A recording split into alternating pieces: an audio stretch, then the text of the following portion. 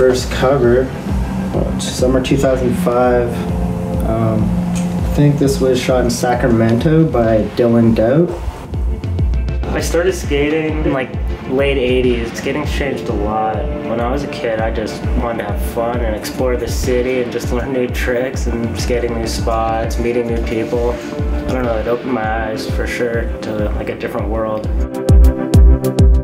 First major international video I was in was probably North, and then after that, Strange Brew came out 2008 maybe.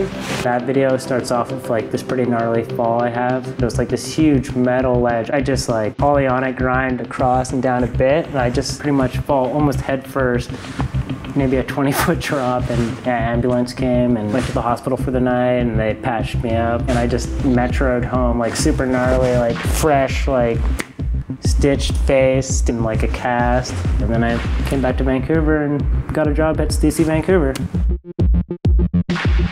My type of skateboarding is pretty mellow, I would say nowadays. I just like people that just like cruise and have fun and nothing too serious. It's cool to learn a new trick, but I kind of just like relearn old tricks and just try to like land stuff good. If it feels good, that's all that matters to me.